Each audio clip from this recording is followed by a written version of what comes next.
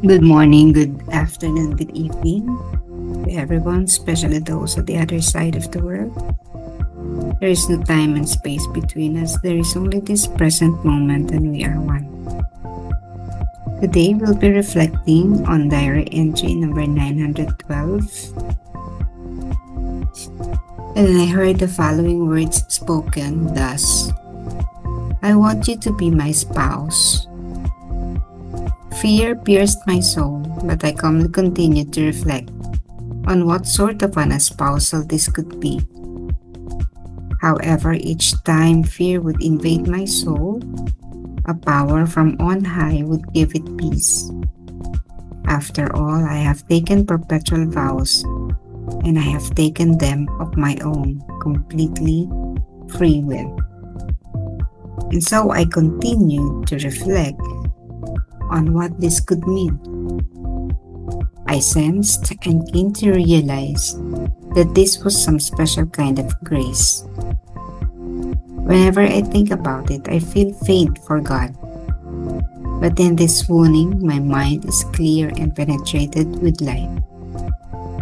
When I am united to Him, I faint from an abundance of happiness. But my mind is bright and clear and free from all shadows you abase your majesty to dwell with the poor creature. Thank you, O Lord, for this great grace that makes it possible for me to commune with you.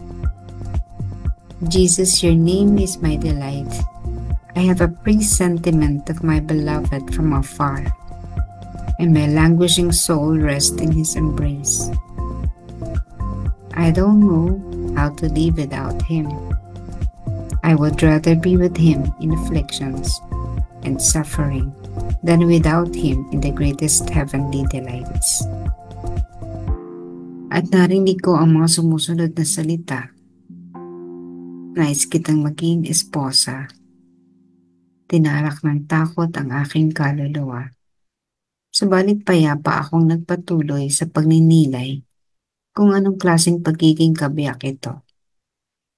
Gayunpaman sa bawat sandaling magkakaroon ng takot ang aking kaluluwa, may isang kapangyarihang magmumula sa itaas na magbibigay dito ng kapayapaan.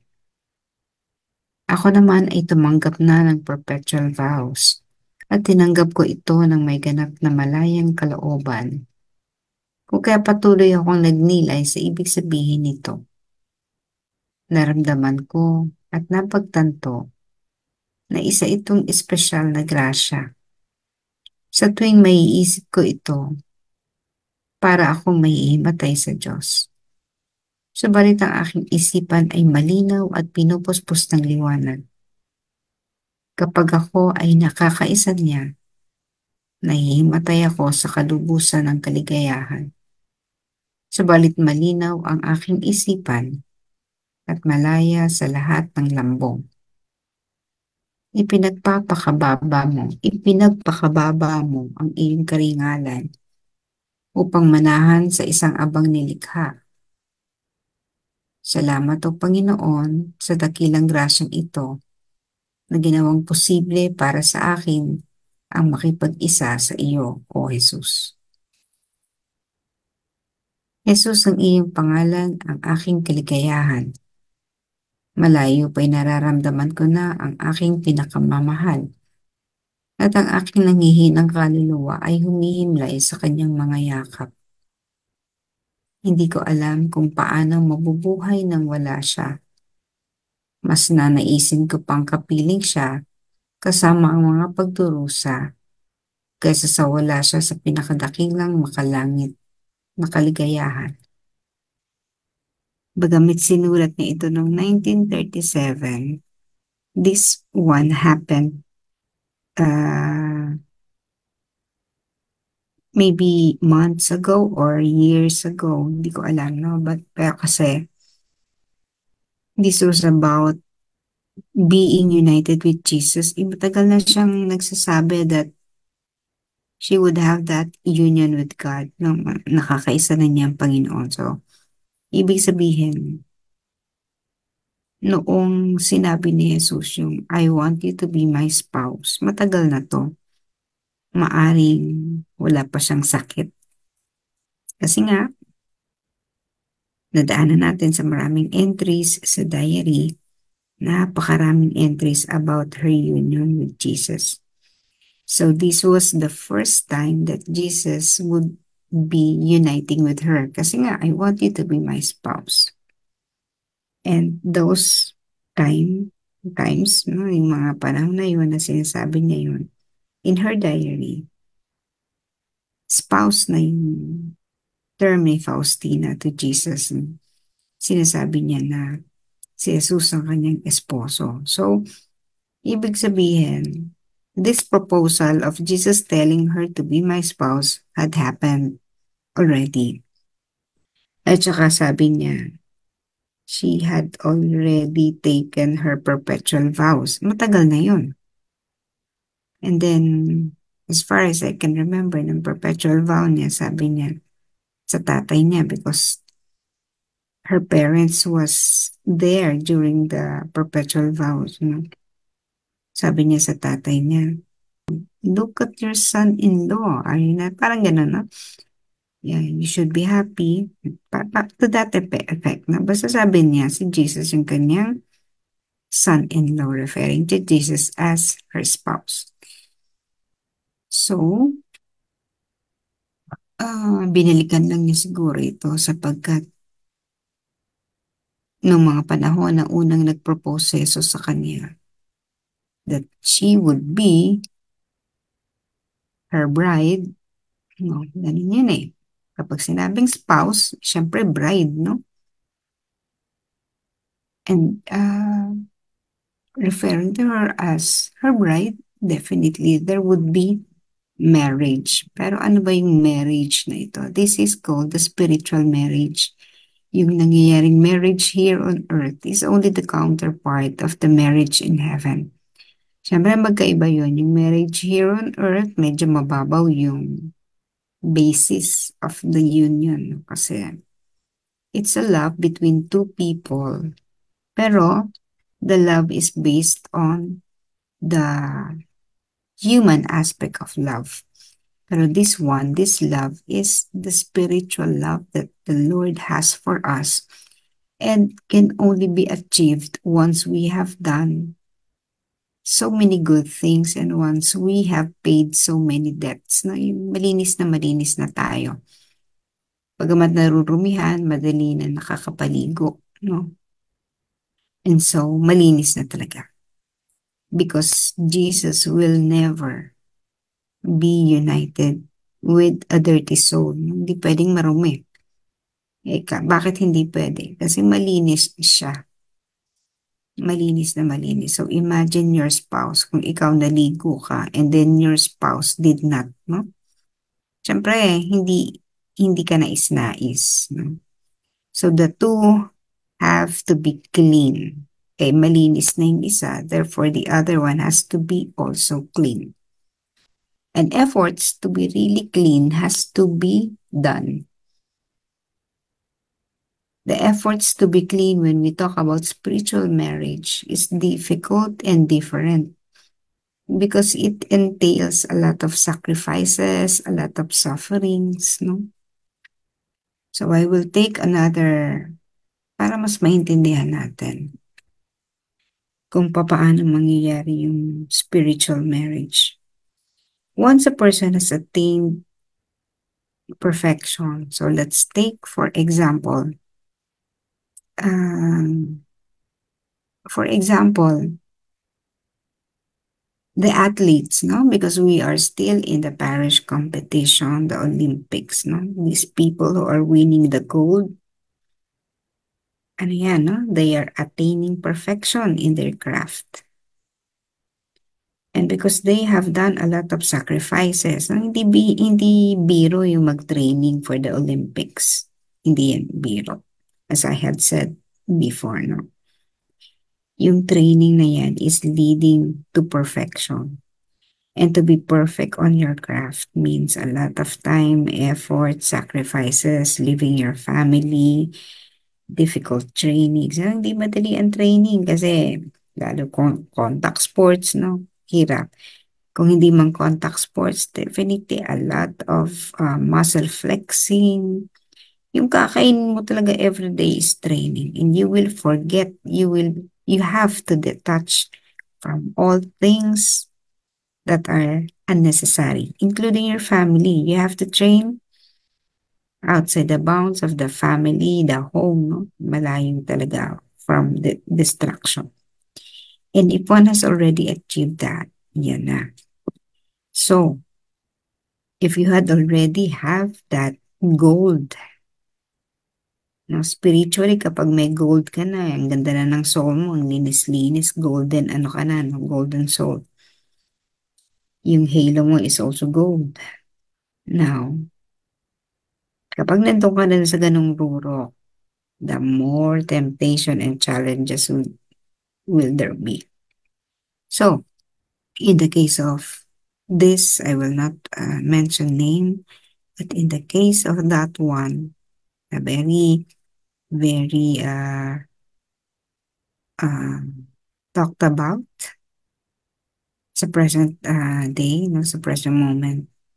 Ito yung ano eh, no, yung when you reach a certain height or climax in your perfection, in your goal of attaining perfection, nandun yung, ano, biggest temptation also. Because the devil will not let you uh, cherish that moment. So, tutuksohin ka. And the biggest temptation for that person was the family. So, had he chose to become silent, the devil will not be able to enter the soul. Kaso, syempre, ang bigat ng ano, human, the human side, no? Hindi siya kasi nakapag-perfect on the human, on the spiritual side. Kaya, uh, medyo siguro na focus on the physical or the material or the earthly perfection. Kaya, uh, hindi nagkaroon ng focus on the spiritual side the marriage would fail. No, hindi magkakaroon ng marriage kasi hindi na pagtagumpayan yung greatest challenge in the life. No? Mahirap yun. To be humiliated, to be ridiculed, to be abandoned by family. No? Ang bigat nun, but the soul has to endure that pain. Hindi na-endure, nag-react, kaya bumagsak. No? Ang bumagsak naman yung soul but it has a repercussion also on the person, no? Doon sa katauhan niya, the personality, on the whole being, kung ano siya, kila natin siya nakikilala. And so, kapag mataas na mataas na yung inaabot mo, the temptation will be very great also.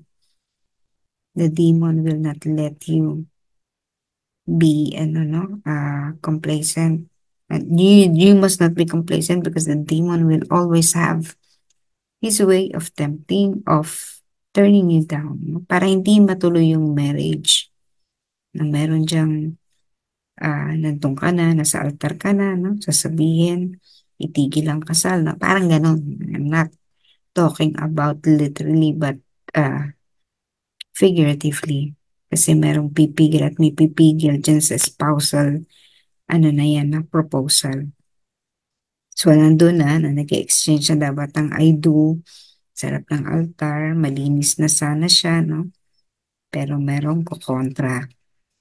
And so what would happen? There would be humiliation, there would be all those sorts of sufferings and temptations and challenges. Depending on the soul, kung naging matatag ang kaniyang uh, muscle flexing, spiritual muscle flexing, itutuloy niya yung kanyang pakikipag-isang dibdib. Hindi niya papansinin. Because this is a special grace from God.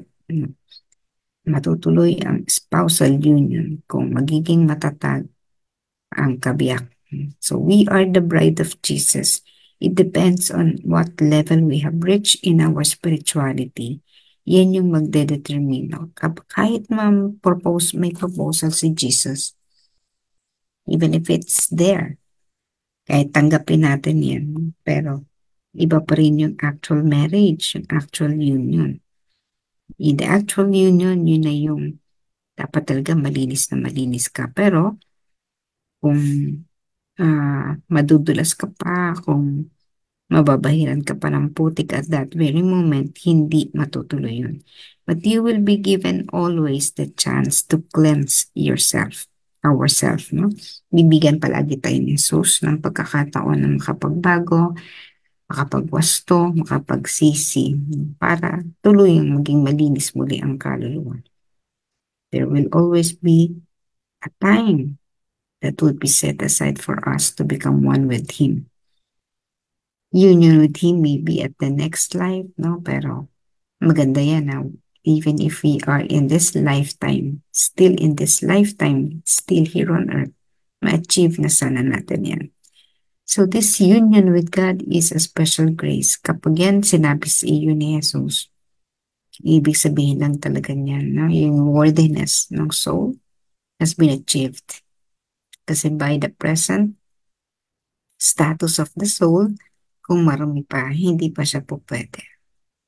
Okay. To be, uh, to be uh, a bride of Jesus, again, entails a lot of challenges and sufferings that we have to overcome. Napakarami niyan. And that would include diseases. I say diseases, no? Uh, pansin nyo, bakit ngayong panahon na ito na nagti 3 a.m. ka, very religious ka, sinusunod mo yung mga bagay-bagay, nag, uh, ka, nag, uh, tumutulong ka, spiritual and corporal works of mercy, nagdarasal, all those elements to be pure and perfect. No? Bakit dumarating ngayon yung mga ganyan? Bakit tayo may sakit ngayon? Bakit antindi ng pinagdadaanan natin? Expect that because the Lord is hastening. Pinabibilis niya ang ating cleansing uh, process. Kasi pag hindi pinabilis ang cleansing process, hindi mo mararanasan ang union with God. Hindi pwede kasi nga sabi nga, kailangan malinis. Eh, kung i-delay pa iyan, idi madidelay din ang union with Him. So, it is an opportunity given to each soul. Kaya lang kailangan ng daanan, kailangan lagpasan. At kapag nalagpasan natin yung mga yan, mga kapatid, kung ano man ang inyong nararanasan ngayon, appreciate it. It is happening at the right time. Right time kasi the Lord has already prepared a place No, yung altar kung saan tayo ikakasal sa Kanya, inihanda na niya. At sa pagpasok natin, yung when we walk that aisle, parang lakarin natin yung papalapit sa altar na yun, kailangan malinis na malinis tayo. Kaya nga ang bride, ang suot niya, puting-puti eh. So, inihanda na tayo ni Jesus sa mga pinagdaraanan natin ngayon. Ang bigat. Totoo, ang bigat nakakaiyak, ang sakit, hindi mo maintindihan. Pero mga kapatid, inihahanda na niya tayo para sa kanya pakikipag-isang dibdib sa atin. And don't worry, hindi ibig sabihin nun mamamatay na tayo, no? Ibig sabihin lang nun, while still here on earth, magiging karapat dapat tayo na maging kabiyak niya.